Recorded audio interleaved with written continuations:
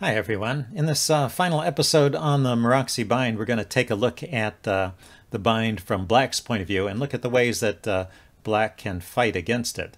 Uh, well, first of all, sometimes Black just tries to avoid it, so let's look at that. Um, let's take a position from the Sicilian, well, the, the opening line of the Sicilian. e4, c5, knight f3, d6. This is uh, most main line of the Sicilians, although of course uh, knight c6, quite a respectable move and many other moves are possible there. But this is the, the ultimate main line of the Sicilian. Most popular main line. Okay, pawn takes, d4, pawn takes, knight takes. And now black plays knight f6. And you've probably heard it said before that black is playing knight f6 to uh, induce knight to c3, the most common response, and then the Maroczy bind has been prevented. And that's certainly the case. And so if you can just avoid the Maroczy bind, you don't have to worry about it, well, everything's fine. But you can't uh, always avoid it. In fact, there is a uh, an alternative that's still played. I looked it up and I found some Grandmaster games from uh, 2019 where this was being played. So um, this is still a playable line even at the top levels. And that's the move f3. This is called the Prinz variation.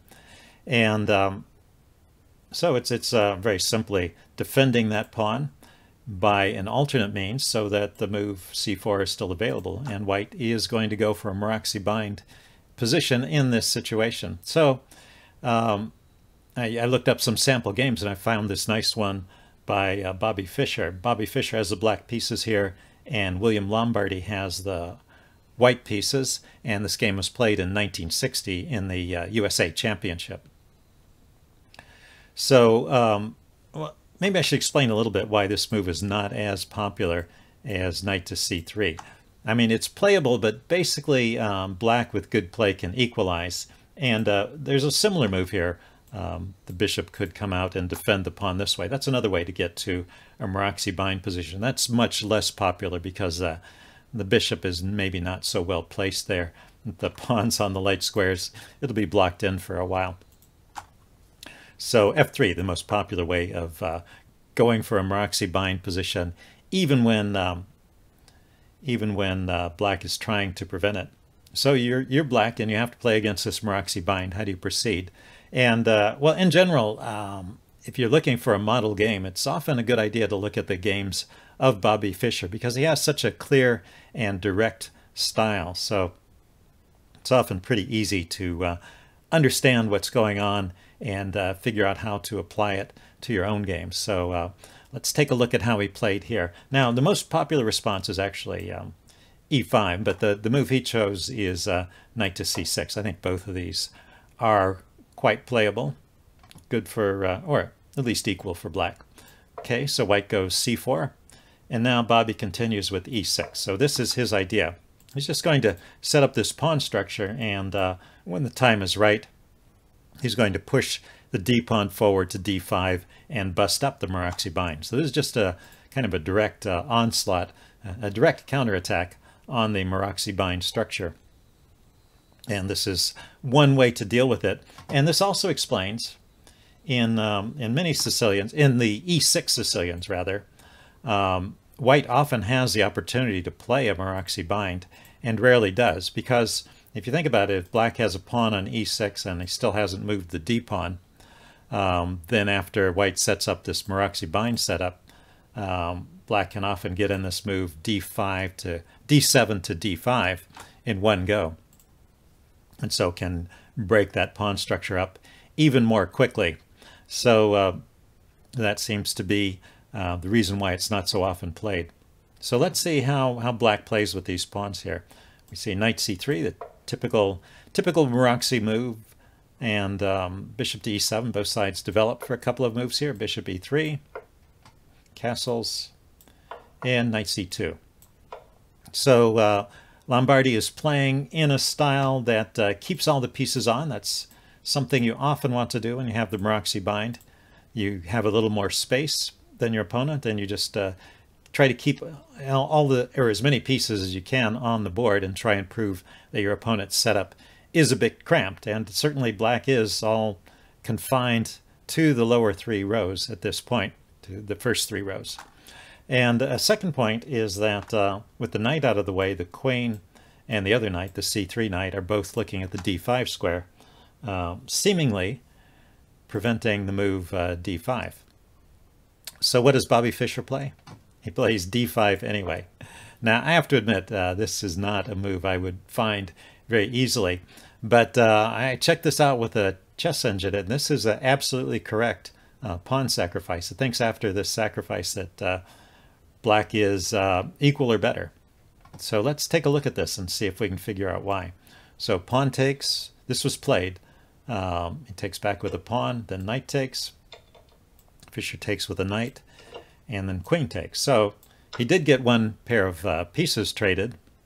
And uh, also he's not going to trade queens. He's going to move his queen to the side. So what does black have in exchange for that pawn? Well, first of all, white is not castled. And if white wants to castle to the king side, there's a bishop in the way, so not going to castle very quickly. Um, and secondly, this uh, queen is a target.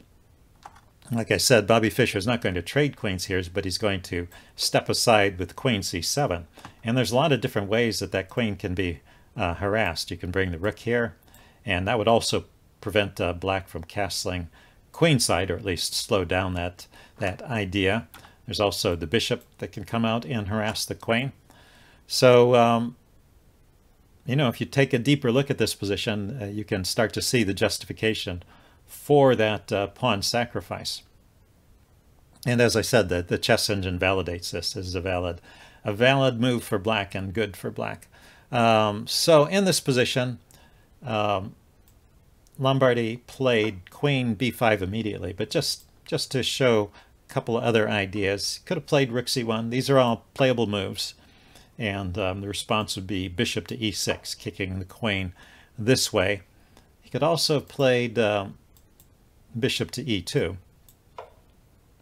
And notice that both of those moves prevent queenside castling, but bishop e2 at least is setting up kingside castling. And now uh, rook to d8 is the recommended response. But in both cases, um, black is gaining some tempos by chasing the queen. So um, Lombardy just uh, avoids all of that by uh, stepping aside with his queen, puts it on this square.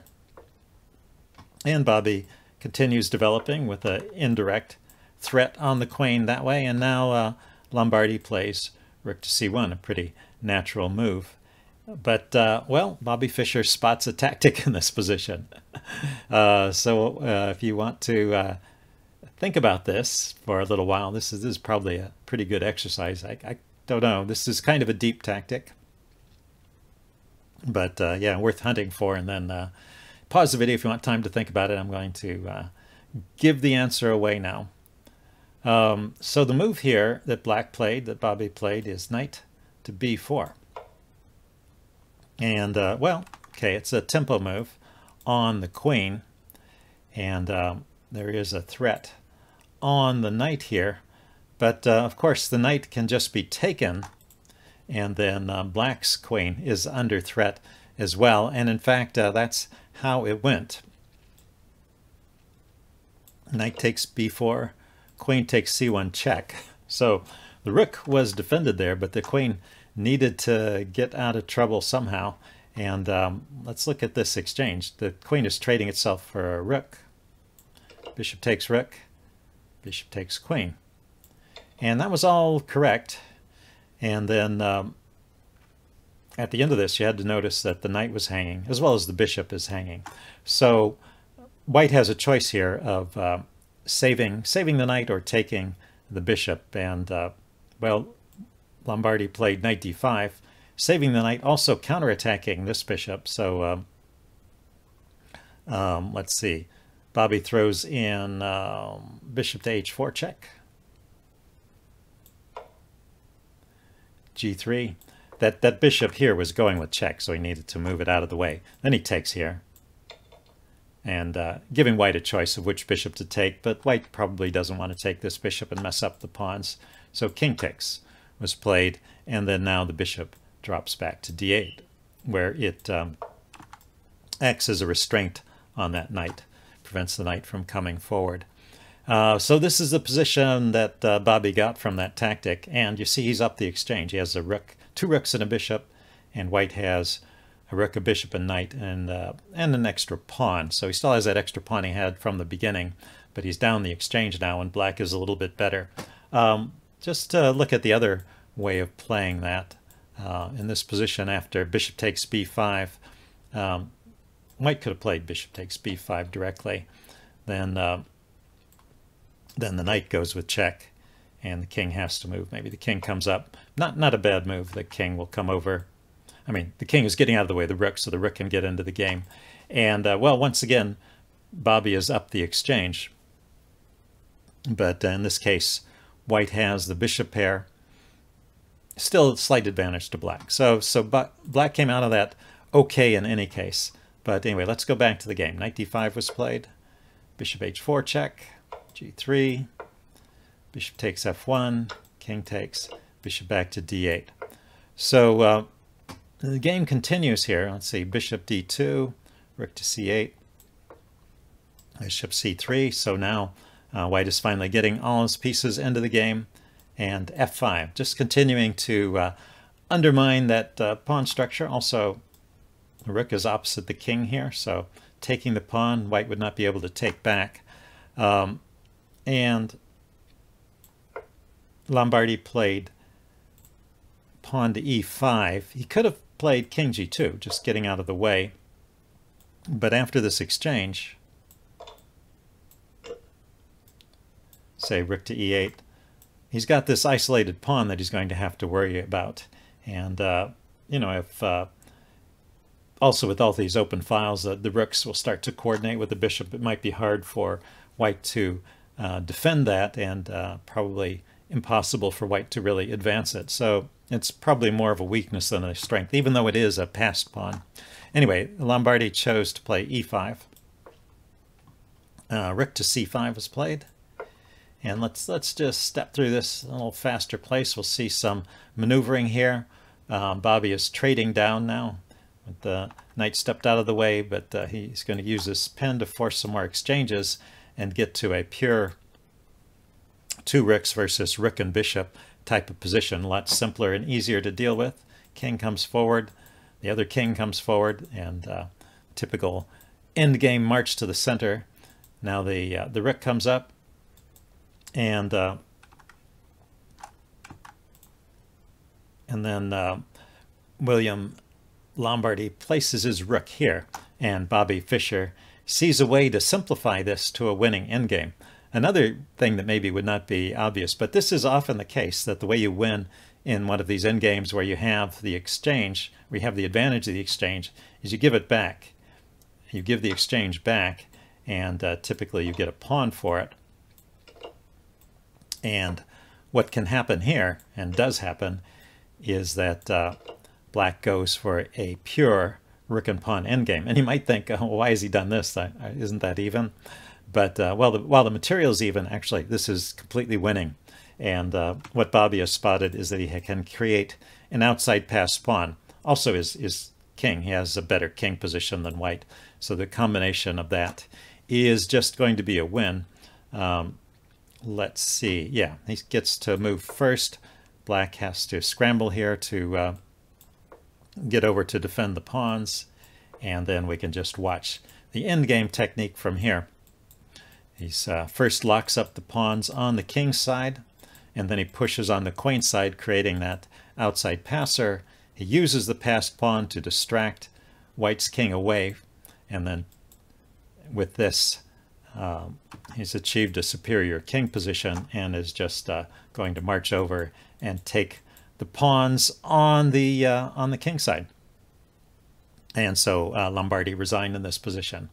So anyway, that's how you can fight against the um, the Maroczy.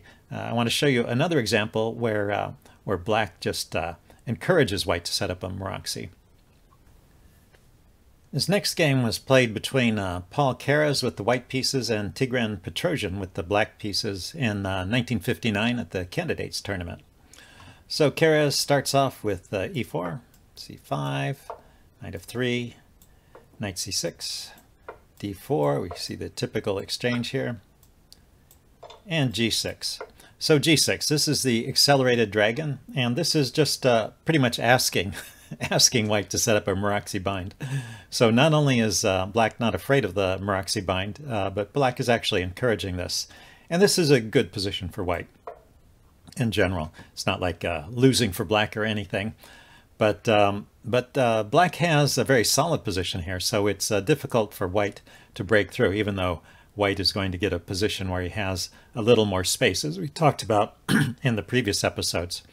So bishop g7, bishop e3, we're going to get a very typical setup here, knight f6, knight uh, c3, so not attacking the pawn until after the c-pawn has been pushed, so this knight can conveniently come out behind the c-pawn.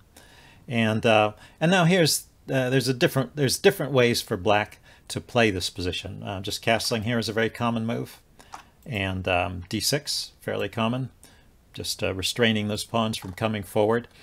But uh, Petrosian plays in another way. This is also a main line. This is a popular move. It's the kind of funny move, knight to g4.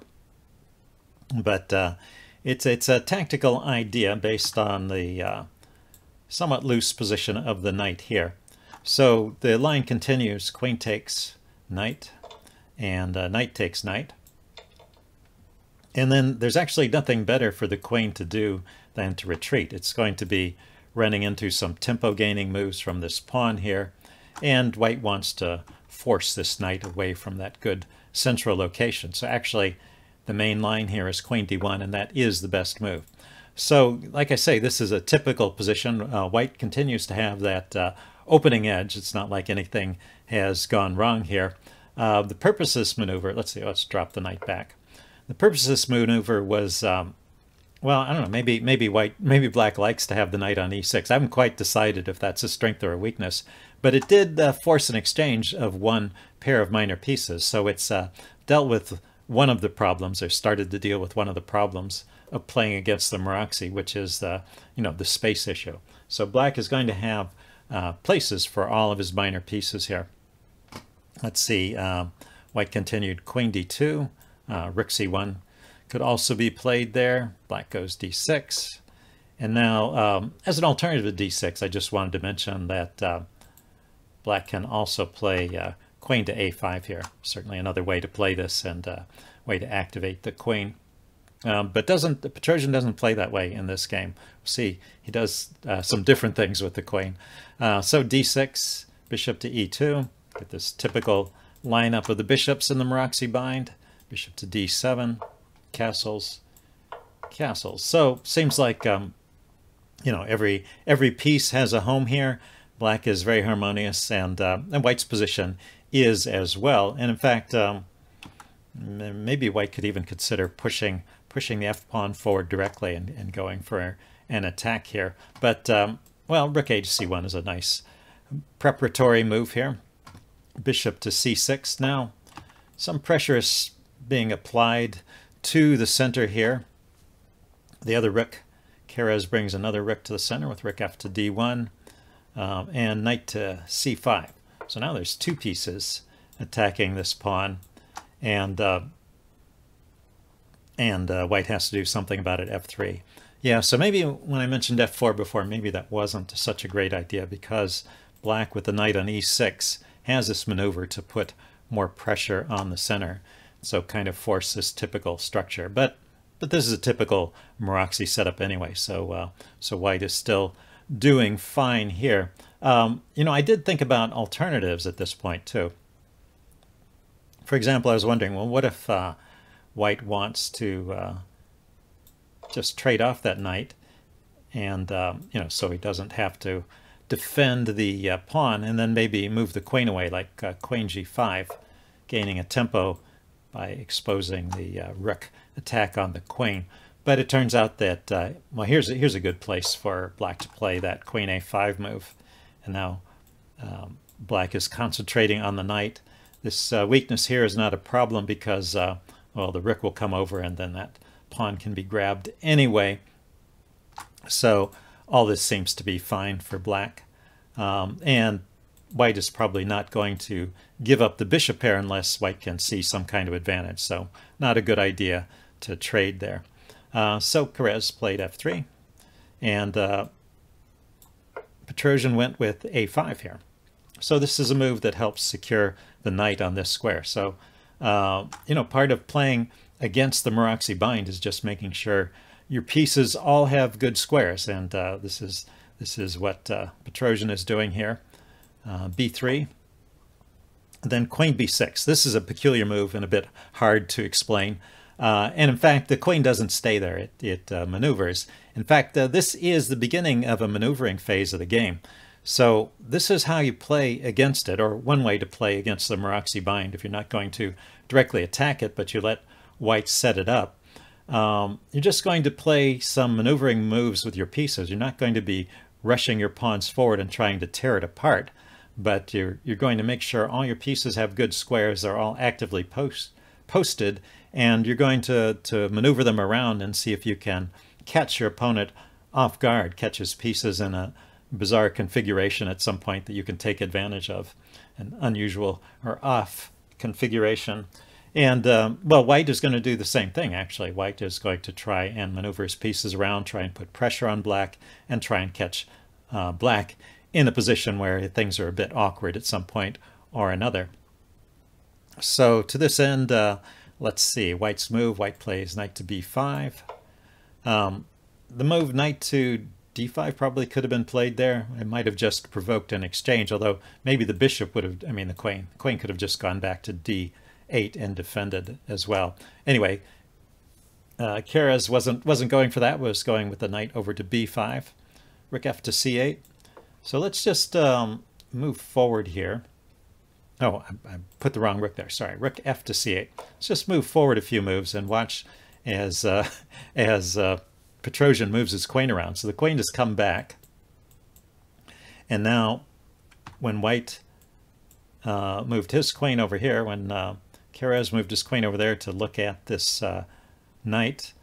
Well, uh, Petrosian did the same thing, lining up his queen with the bishop to look at that knight. So, you know, there could be some trades there, but uh, nothing is gained. So this knight drops back to c3. Um, b6 is played, and now uh, that knight is very securely defended, so um, the bishop doesn't want to take there. Just uh, Black will just take back with a pawn. So rook to c2, preparing to double, and another queen maneuver. Well, maybe uh, maybe f5 is being thought about. Uh, f5 could be a good move to play at the right moment. There's always a little pressure on the knight, so this knight has to be kept defended. Um, so there are things going on in this position. It's just that uh, there's no immediate strike, and both sides are kind of maneuvering the pieces around. The queen here is also defending that e-pawn, so uh, uh, Petrosian is not worried about that at this moment. And uh, you notice this knight has went here, and then it went back, and then it went here. So this is the typical square the knight goes to on, for the Maroczy bind. It finds its way there eventually.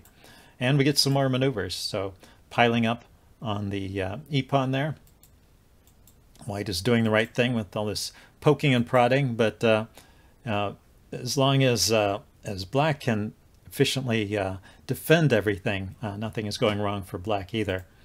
Um, we get more pressure here, and finally f3 or f6 is provoked. Um, but I don't know if that was an advantage for uh, is that was that an accomplishment? The the bishop has to retreat. Uh, I guess it is an accomplishment because now this bishop is blocked in. But uh, well, it's certainly a, a, central push becomes a thought. Although I, I guess you don't want to play this move. I take that back because uh, that would give give uh, white a lot of influence on the light squares if you play a move like that. More likely this move is coming here.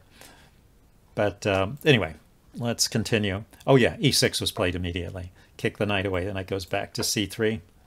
Rook to uh, d7. Centralizing the rook. Bishop to d4. Piling up on this uh, f-pawn here from the other side. And f5. So at this point, finally um, black has gotten in a break. So black has waited uh, what seems like a long time with all of these maneuvering and decides this is the right time to go for a break and try and create some activity. And we are on move 30. You know, in a lot of these games, uh, these were played in the old time controls where you had like two hours, each side had two hours or a little more to uh, play the first 40 moves. So sometimes you see a flurry of activity uh, leading up to move 40 as, as both sides try to uh, catch out their opponent in time trouble. Anyway, we start the activity here with the f5 push. He takes f5 and um, know, I was kind of expecting this move, but that leaves this pawn backwards and isolated. It looks pretty ugly. And in fact, uh, the computer confirms that uh, the way Petrosian took here with the g-pawn is the better move. And uh, the king, uh, it may look like the king is a bit less safe here because of uh, the open file here, but there's a lot of pieces. The rooks are already on the second rank, and, uh, and it's more important to keep the pawns together in the center and maybe even this pawn can be used to shut out the bishop on this diagonal. Um, so, so in fact, taking the other way would be a mistake. So this is the right way to take. Uh, rook to d2 was played. And now uh, Petrosian decides to trade off the bishop. That goes with check. The rook takes. And I think Keres is happy with this. Maybe he's thinking he can push a pawn forward here and bring the rook over, uh, get, get some attack going. But uh, Petrosian's rook gets there first. so um, king to h1, stepping out of any pins along the g file. Rook to g6. So opening up some lines here. Maybe the rook can come over here. Maybe the queen can come here. We'll see what happens. Rook back to d2, defending along the second rank. Rook to d8, making sure this pawn is defended uh, it was defended by the queen already, but uh, well, now the queen is free to move with the rook over here. Actually, not. The queen is not free to move. The queen has to hold on to that rook too. okay. Uh, next move, rook e to d1. Okay, so maybe he's playing that in anticipation of uh, white doubling the rooks there. Uh, rook to d7, so still securely defending the d pawn. Queen back to f2. Queen to d8 queen to e3, e5. So finally getting in that central push. And f4. So f4 was played on move 39 and seems to be a bit of a mistake. So I guess both sides are probably in time trouble at this point. Um, but uh, yeah, Keres obviously wanted to try and uh, open things up, but it did, um, I mean, it opens things up against his king as well. So it is a bit of a loosening move. Um, and actually, uh, Petrosian's response, which was to push the e-pawn forward, seems to have been a mistake as well. So we have two slight mistakes from both players. So what could white do here? White could continue maneuvering with uh, bishop to d3. Maybe uh, kind of kind of enticing black to push that pawn forward, maybe wanting to provoke some exchanges there. Um, anyway, um, and after f4, black, instead of pushing the pawn forward, could have directly brought the queen over to the h-file or, or moved the rook to the h-file. Both of those were suggestions from the chess engine just starting to go directly for the king side attack there. So anyway, a couple of slight inaccuracies here. Knight to e2. And uh, and so uh, all along, white has still maintained this slight edge. I don't want to give the impression that black is uh, somehow managed to convert this to a winning position. But uh, but white black is keeping the game going and building up pressure on the king. It's actually getting a little bit trickier for white to defend at this point. Um, let's see, rook d to g7, increasing that pressure. Knight to d4, bringing the knight in back to that. Uh, oh, oh, it's the d5 square it's usually sitting on. Well, the d4 square is good here. Looking at the uh, f pawn there, bishop back to d7. Yeah, also hitting the bishop. So the bishop drops back to defend a3, maybe preparing to uh, push push that knight away. a3, queen to uh, a8. An interesting uh, diagonal move. Uh, looking at the uh, pawn this way, through his own pawn, so still not clear what's going on here. King to g1. King decides it's uh, better to go back there, maybe be able to push the g-pawn forward at some point. h5. So just throwing pawns forward and rook to b1. rook to b1 actually seems to be a slight mistake. So if we back up, um, the chess engine would play directly here with knight b5. Just trying to cash in with the pressure on, uh, on the pawn. And this would probably provoke the exchange. This is what the recommended line was.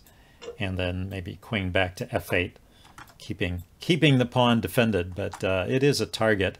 And, uh, well, with that bishop off the board, maybe that's one less piece that can participate in the attack. And it seems like uh, black is, or white, white is still doing fine here. Um, rook to b8, rook to b1. Again, uh, looks like white is thinking about pushing that b pawn forward which uh, does eventually happen, but it doesn't seem to be as uh, as forcing or as relevant as the central play here. Um, and Petrosian continues pushing with the h-pawn, rook b to b2, doubling. Oh no, sorry, the other way. Rook b to b2, doubling this way to defend along the second rank. Rook to g4, maybe putting some pressure on this pawn, although it's defended. Uh, rook to f2, yeah, bringing a second defender over anyway. Queen back to d8, so we saw some more of those queen maneuvers. The queen went to a8, and now it's come back to d8. And now b4. Keres decides it's time to push on, and this was part of his plan, bringing the rook to the b file, playing a3, now b4. But, uh, but Petrosian spots a really uh, clever move here. So once again, it's uh, it's all about trying to catch your opponent out and find those moments where you can you can spot an idea and take advantage of his play and the momentary positioning of his pieces. So if you want to think about this position for a while, see if you can spot a move here. Okay, uh, yeah, pause the video if you want time to think about it. It's certainly not an easy one, uh, but I'm going to give the, the answer away now.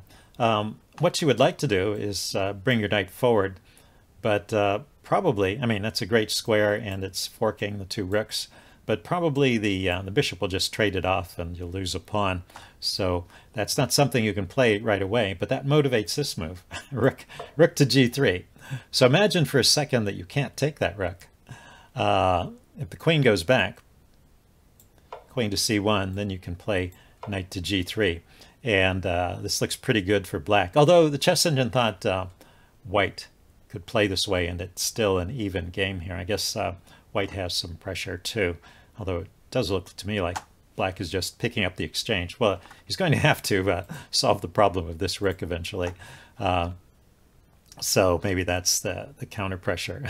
so that did not happen in the game, but uh, that's kind of the idea of this sacrifice. Now, uh, uh, said, what are you doing? what are you doing giving me your uh, rook? And so we'll get to see what the idea, the other idea of the sacrifice is. So uh, black is down a whole rook here, but of course, uh, white's king position is looking really precarious. Now we are after the time control, so both have time. Both players have time to try and figure this out.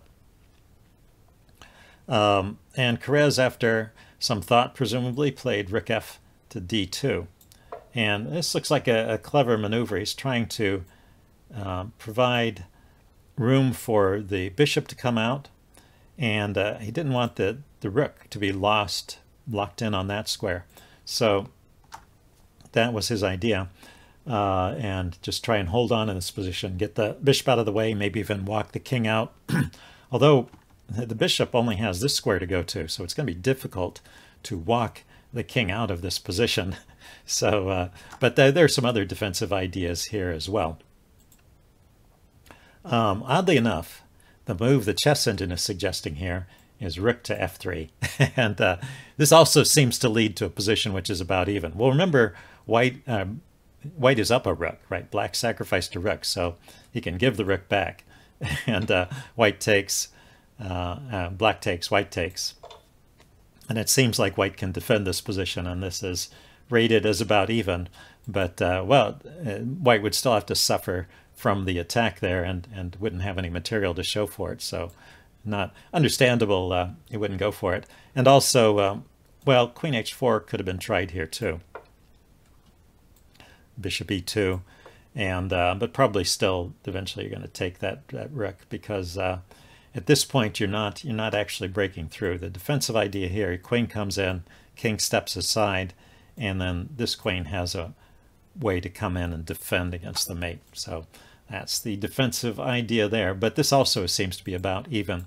But the, the rook back to d2. This, this uh, trying to keep the material and defend at the same time seems to be a little bit too much for white. So queen h4 coming in for the attack. Bishop e2. Rook to h7, just doubling up on the h file. King f1. And now um, Keres was probably expecting queen here, for which he had prepared the move queen to g1. And, uh, well, white is just winning in that position. But there is one key move here that he must have uh, overlooked in his calculations. So if you can spot the move here, find the winning move. Okay, pause the video if you want time to think about it. There's uh, only one move here that I see, and uh, it's enough to force checkmate. So I'm going to give the answer away now. The move was queen takes f4 check. I mean, it was enough to force resignation. I think I think actually it is a mate in five at this point too. So, um, well, if the king runs away, you're going to grab the queen with check and then bring the rook in. So, yeah, probably probably not happening. Uh, probably not. Uh, probably is a mate. And uh, well, the key idea here is that if the queen takes, and the rook comes in, and that's mate anyway, because these squares are blocked and the queen is no longer on this diagonal. And the queen has no other squares on the diagonal. Um, it, it could go here, I suppose, but then queen takes queen as mate. So queen takes f4 check, killer move. Nice finish to that game. Okay, I have one more example game I want to show you. The last game I want to show you on the uh, bind is a game that was suggested to me by uh, Rod McNevin in uh, one of the comments. So Rod is someone who's uh, made a lot of comments on my videos over the years, and they're often uh, very thoughtful and much appreciated. So this game was played uh, in the USSR Championship in 1957. With the white pieces, we have Semyon Furman, and with the black pieces, Boris Spassky. And Spassky has a very unusual approach to dealing with the Maroczy bind. So let's see how we get there first. Um, Furman starts with knight f3, Spassky plays c5, Furman plays c4, and uh, Spassky plays g6. Um, it's a pretty normal setup. It starts to look uh, like an accelerated, um, not a symmetrical English, not like an accelerated dragon. It looks like an asymmetrical English at this point. And I suppose it would have kind of stayed in English lines if uh, Spassky had played knight f6, but he played uh, g6 which is uh, also a common move here, preparing to fianchetto the bishop. Frequently played in the English, but it does give white the chance to play e4 here. And so we've actually transposed, or will transpose in a couple of moves. Bishop g7, d4. Um, and now this is a, a Sicilian. We get this exchange and knight c6 and this is a position from the accelerated dragon we might have seen this in the in the previous video in fact um, and white continues with bishop e3 and um, black goes knight f6, white goes knight c3. I'm pretty sure that is the position we reached in the previous video. But uh, Spassky did not play that way. He did not play the normal knight f6 move. Instead, he played knight to h6. So this is a very unusual continuation, but, uh, well, something to think of if you like um, these tactical kinds of positions where you have more of a open center. So your idea here is uh, you're going to play a quick f5 and try and bust up the center. This is a, a, risky strategy, though, because you're weakening your king position quite a lot early on. It's, it's pretty committal, but uh, you can try it out and see if it works for you. Pretty interesting way to play. Knight to c3, castles, so normal development, bishop e2, and now uh, f5. So Spassky waited until he castled, but then pushed uh, f5 at the first opportunity after castling. So white took here. There's no um, there's no pushing that pawn forward. I suppose white could play some other move and wait for black to take, but um, well, Furman chose to take here. And now uh, uh, Spassky played the second move here that was interesting to me. I think this just uh, takes a little bit of uh, foresight, maybe, seeing the kind of position that might arise. I mean, if I was going to exchange here, I would probably take with the knight. This would be my kind of instinctual um, way to play because you normally want to keep this bishop. It's a strong piece. And if you do give it up, you, you normally want to give it up for your opponent's bishop of the same color. Um, actually, I think uh, in this position, the chess engine was recommending take here, and then white would take. So, um, so you may have lost the, the bishop, but at least uh, black doesn't have a, a dark squared bishop to take advantage of those squares. But if you look at this position a little deeper, it seems that somehow black has fallen behind here. These, these pawns are looking kind of backwards. This bishop is still trapped. Uh, white's ready to castle. Um, so this uh, turns out to be a good position for white. So that would be the wrong way to take there. Um, and so it's interesting that uh, Spassky chose to give up this bishop right away. That's what I said. That's what I think is counterintuitive about this. And uh, and after the bishop takes back, he doesn't keep trading. He allows uh, white to keep the bishop pair and to keep that uh, black bishop, but he has another way of dealing with it. He takes here with the knight. So I think this is what is good about uh, black strategy here. Now, this bishop is just hanging here.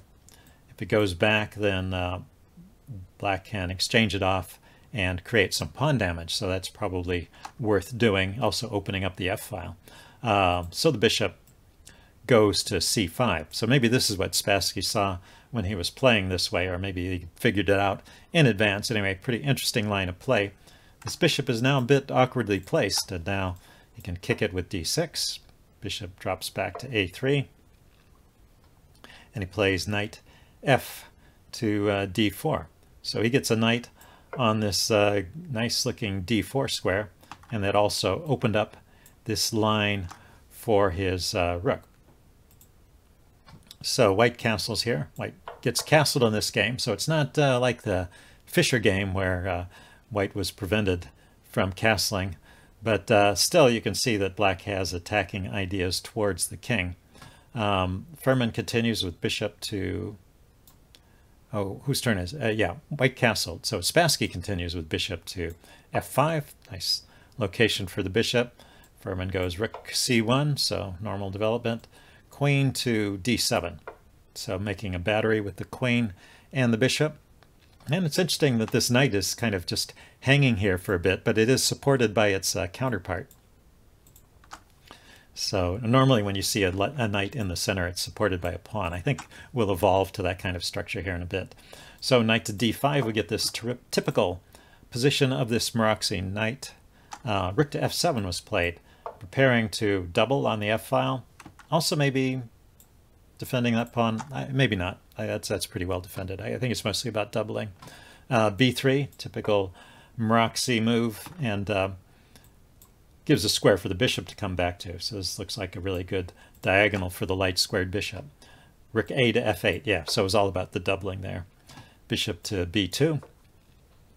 And now there is a bit of pressure on the knight, so uh, e5. And uh, now b4. Yeah, b4 seems like an interesting move. It's uh, looks pretty natural. You want to attack that knight, and uh, maybe you can exchange this knight off after this one has gone away. So looks like a very uh, straightforward way to play, and um, but it seems to be a slight mistake. So the chess engine is actually recommending f3 here. It's maybe noticing already that there's some weaknesses along the f-file and it wants to try and shore that up in advance. So b4, a slight mistake. Um, the bishop drops back to e6. So not, not worried about the pawn push to uh, b5. Well, for one thing, this knight can always escape by um, by taking this bishop with check. So it's not, not really a big deal at the moment. Um, in this position, white plays bishop to d3. So maybe this does start to set up that uh, b5 push as a threat. But uh, things are just moving too fast for white to ever get that in. Now this is the point where Spassky really starts to take over the game. Plays the move bishop to g4. and, uh, well, it's defended. It's not a sacrifice, but it's a very forcing move. The queen does not have a lot of good squares. Uh, first of all, if the queen runs away, uh, you know, the, the knight's covering these squares, so maybe you could run out here then um, bishop to f3 is a winning move. It's the attack with the white's pieces all over on the queen side or in the center. Um, it's just no good. Uh, if the bishop is taken, then the knight can come in here with check, and then the queen can come in with check, and it's pretty much all over. And if the bishop isn't taken, the queen is coming in anyway, so uh, that's just not working. Let's go back. Uh, so that was if the queen runs away. Uh, the queen could try to go to a different square, but the other squares are, for example, d2. These other squares are on dark squares, and this actually runs into a different problem with the with the knight fork. It's basically the same kind of problem. It's just not enough uh, defense around the king here. So taking the knight results in uh, now the queen can come over and defend here, but uh, there's this really neat uh, deflection move here. So this wasn't played, but uh, this uh, may have been the idea here. There's this move knight takes b4. And uh, the reason this knight is being deflected is because the rooks want to join in the game and the knight is controlling this square. The knight's just going to get traded off. So he might as well grab. I mean, that was a knight sacrifice. He might as well grab. There's nothing nothing better. But then rook f4 is going to win the queen because there's this uh, threat of mate here. Um, best move here is queen g3 and rook g4. And it's, uh, well, it'll be a uh, rook and a knight for the queen, but uh, it's still winning for black. So that's those are some of the ideas in this position after bishop g4. So uh, Furman played f3, which turns out to be the best defense, but it's just not good enough. So Spassky sacrifices here anyway and takes with the knight. There's a check. King runs to uh, h1. Queen comes out to h3, threatening mate here. And now here is the uh, last chance. Uh, this is still winning for black, but there is a move here, queen e2, that defends. And uh, but what's funny is the reply here, knight takes h2. This is actually pretty good. Uh, if the queen takes, well, probably the queen should take. Um, the queen was defending that bishop, so um, Spassky gets the bishop, and um, he doesn't sacrifice. Uh, I guess he's still down one piece because he sacrificed a piece, but um, but the king is all exposed, and black he has a good attack here. So um, white black is still winning in this position, but it's going to be a longer game. It's not an immediate uh, breakthrough. Anyway, uh, instead of defending with the queen, Furman defended with the rook. And so there's one more move in the game that forced uh, resignation. So if you want to uh, think about this position for a while, can you see what uh, Spassky played in this position? Okay, yeah, pause the video here if you want some time to think about it. I'm giving the answer away now. Spassky played knight to e1. so uh, yeah, this is just game over. The threat is uh, rook takes rook with um, mate on h2. The knight is preventing the queen from coming over and defending the h2 square. And even queen takes knight trying to defend the rook doesn't work because um, black has two rooks and there's no other piece that can come in and defend there. So there's actually uh, just no defense at this point, just uh, throwing that rook down on, I mean, throwing the knight down on the back rank, blocking out the queen's view of the uh, g1 square, and uh, and it's all over. so anyway, that was a, a, nice game. Hope you guys enjoyed it, and hope you enjoyed this series. Hey, let me do a brief recap.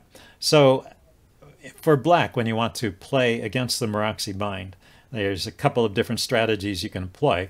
One is to try and avoid it and then um, if black insists, or if white insists, uh, after you've played the moves that usually avoid it, uh, generally you, you get an equal position by just playing directly against it in the center with moves like e6 and d5, busting it up like that. Um, alternatively, if you don't mind playing against it, if you're interested in trying out these maneuvering games, you can go for an accelerated dragon, just play right into the Maroczy bind. You have a fine position and you can wait for your opponent to uh, push too hard, make a mistake, and then counterattack. So that's a strategy that appeals to many players. And then uh, lastly, as we saw uh, uh, Boris play here, sometimes you can even go into a Maroczy bind, giving white all of the advantages and still get some kind of uh, direct attack against it with uh, that F5 push at the right time. So um, anyway, hope you found these selections of games uh, interesting and learned something about the Maroczy bind. And I'm going to be back with my next middle game idea. It's going to be the exchange sac the exchange sacrifice. I hope you guys will stay tuned for that, and I will see you then. Bye.